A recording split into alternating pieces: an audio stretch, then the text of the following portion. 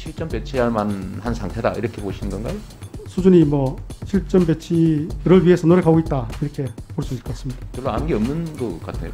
쪽으로 시험 발사하고 있다는 의미는 그것을 곧 전력화하겠다는 의미이기 때문에 그 얘기는 그 전력화하기 위해서 꼭 필요한 재진입 기술이 필요하기 때문에 그렇게 해서 저희들이 추정한다 이런 말씀을 드리는 겁니다. 약간 아쉽습니다. 이게 이제 우리 국민들께서 알고 싶으신 것은 상당한 기술이 있을 것이다 이런 게 아니고 예. 어, 재진입은 매우 중요한 요소인데 확보했을 것이다, 확보하지 못했을 것이다, 뭐 이런 뭐 정도의 예, 좀 판단을 해야 우리도 대응을 하지 않습니까? 예, 좀 그렇습니다. 더 노력해 주시길 저는 바라고요. 더 노력하겠습니다. 그 부분에서. 정치일학 팩트 체크 싸워서 이기는 경우도 있겠고 그죠? 또 싸우지 않고 이기는 경우도 있겠고 뭐 손자병법이 있는데 많이 나오는 얘기인데 그보다 더 나은 상태는 싸울 필요가 없는 상태를 만드는 것이다. 예, 이런 말 많이 하지 않습니까? 예, 그렇습니다. 거기 동의하시겠죠 당연히. 그래서 싸우지 가장- 않고 이기는 것이 제일 좋은데 네. 그 방법이 어떤 방법이냐 하는 것은 분명하게 차이가 있습니다. 어떤 방법으로 싸우지 않도록 할 것인가? 이것은 힘에 의해서 억제를 통해서 하는 방법이 있을 것이고 그렇지 않고 상대 쪽에서 양해를 구하고 상대의 어, 호의를 네. 기대하면서 하는 방법 두 가지가 있다고 봅니다. 그러니까 뭐 그건 당연하죠. 강력한 국방력이 기초가 돼야 되는 것은 또 말할 필요가 없는 거죠. 예. 당연하고. 어, 그리고 어, 강력한 국방력을 기반으로 해서 싸우지 않고 이기는 것이 가장 좋지만 그보다 더 나은 것은 어, 싸우지 않아도 되는 상태를 만드는 것이죠. 소위 평화 상태를 유지하는 것이 가장 강력한 항보다 예, 동의하십니까? 예, 평화 상태를 유지하는 것이 제일 좋은데 네. 힘이 없으면 그게 유지가 안 된다고 제가 봅니다. 말씀드리잖아요. 예, 예. 강력한 국방력을 바탕으로. 예, 그거 그렇습니다. 당연히 해야 될 일이죠. 예. 예, 그 말- 예, 그래서 제가 그 말씀을 드리는 것인데 아까 안규보 의원님께서 지적했던 부분들을 야, 긴장을 많이 하신 것 같은데 국방장관님 불필요한 우리가 강력한 국방력을 기초로 해서 이제 내실 있게 예, 안보 국방을 해 나가되 불필요하게 또는 꼭 안 해도 될 예, 그런 자극적 언행이나 이런 것들을 통해서 괜히 위기를 더 조장할 필요는 없다. 예, 적대감을 강화할 필요는 없다. 예, 이렇게 생각하는데 그 점은 어떻게 생각하세요, 장관님? 그 의원님 말씀하시는 그 부분에서 공감하는 부분 충분히 있습니다. 있지만은 어, 때에 따라서 억제라는 게 있습니다. 억제를 위해서는 우리의 의지, 결기를 보여줄 필요도 있다고 봅니다. 그럴 경우에 한해서 그러니까 상대적이라고 보시면 될 것 같습니다. 그런 차원에서 저희들이 하고 있는 것이다 이렇게 말씀드리고 싶습니다. 뭐 당연한 말씀이십니다. 어, 예. 제가 말씀드린 게 바로 그거죠. 불필요하게 하지 말고 필요한 건 해야죠. 예. 예? 어, 앞으로 어, 용어 선택이나 아니면 음, 네, 태도 이런 데서 가능하면 이 한반도가 평화 체제를 유지하는 데 방- 도움이 되도록 소위 안보 딜레마 이런 데 빠지지 않도록 어, 우리가 좀 더 노력할 필요는 있겠다는 생각이 예, 듭니다. 잘 알겠습니다.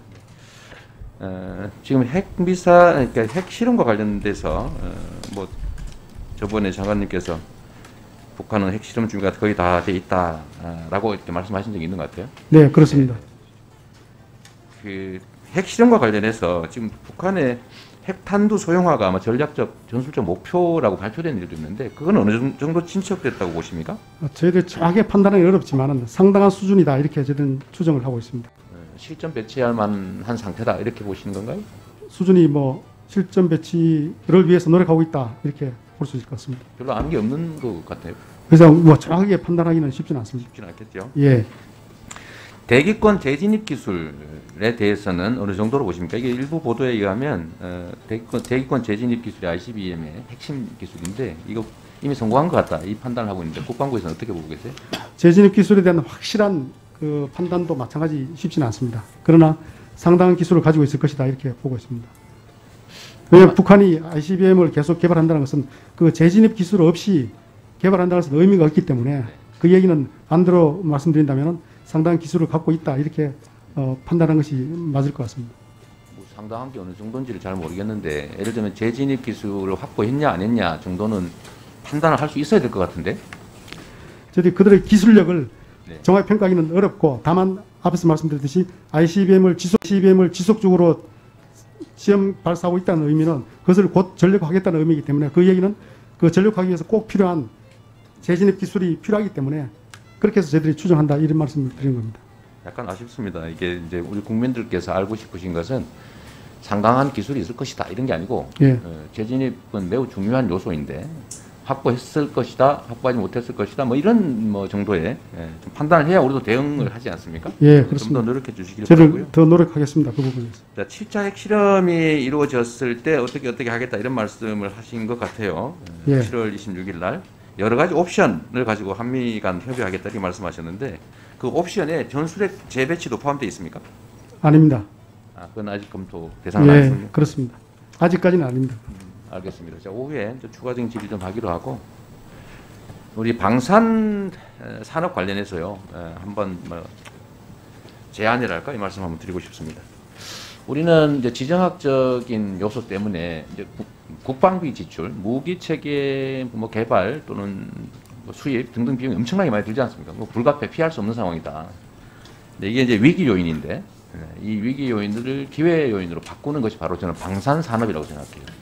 예, 그리고 예, 무기 체계를 대개는 이제 수입에 의존했는데 이제는 국산화하고 이제는 그걸 넘어서서 해외 수출을 상당히 많이 한 상태가 됐는데 저는 매우 바람직한 상황이라고 봅니다. 에, 수입보다는 음, 국산화. 에, 그게 이제 결국 자주국방의 핵심이 될 수 있을 테고 또 경제적으로 어차피 국방비 지출을 한다면 해외 수출을 에, 적극적으로 지원해야 될 텐데 향후에 제가 제일 우려되는 바는 어, 다시 이 정책 방향이 바뀌어서 음, 자체 개발 수출 이런 것보다는 수입으로 방향을 좀 턴할 가능성이 있지 않냐 이런 우려들이 있습니다. 예, 그게 어쩌면 약간의 부정적 요소들이 있지 않습니까? 개발해서 수출하면 좋은데 어, 이 에, 방향에 대해서 어떤 생각을 가지고 계신지 예, 한번 말씀 한번 들어보고 싶습니다. 저도 가능하면 자체 개발해서 전력화하는 것이 가장 바람직하다고 봅니다. 다만 사업 추진 전략을 수립할 때 이것이 전력화하는 데 소요되는 기간, 비용, 그 다음에 무기체계 효용성 이런 걸 따져서 자체 개발하는 것이 유리하다고 보고 또 가능한지 이런 평가를 해서 추진 전략을 수립하도록 되어 있습니다. 그래서 의원 말씀하신 것처럼 가능하면은 수입보다는 우리 자체 개발을 많이 하고자 하고 있습니다. 예, 그렇습니다. 예, 그렇습니다.